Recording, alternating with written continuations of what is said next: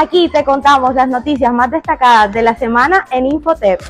El taller Generalidades y Evolución sobre la Discapacidad que organizó la IES Infotep se convirtió en un espacio de reflexión, empatía y conciencia de las luchas diarias que tienen las personas en condición de discapacidad en el municipio de Ciénaga.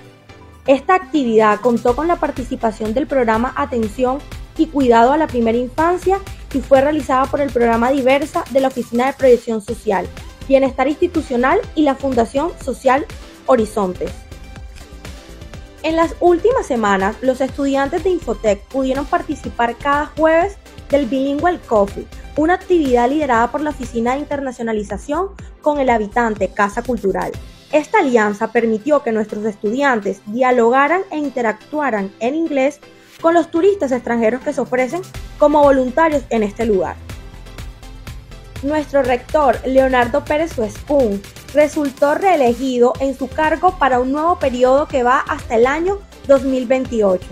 Su elección se dio tras deliberación del Consejo Directivo de Infotep. Cabe resaltar que durante la jornada de elección, la comunidad estudiantil manifestó su apoyo a la gestión del primer periodo de rectoría con una caminata por las calles de Ciénaga. Felicidades y éxitos a nuestro rector para que esta alma mater siga creciendo. Aquí te contamos las noticias más destacadas de la semana en Infotep. Gracias por seguirnos. Hasta la próxima.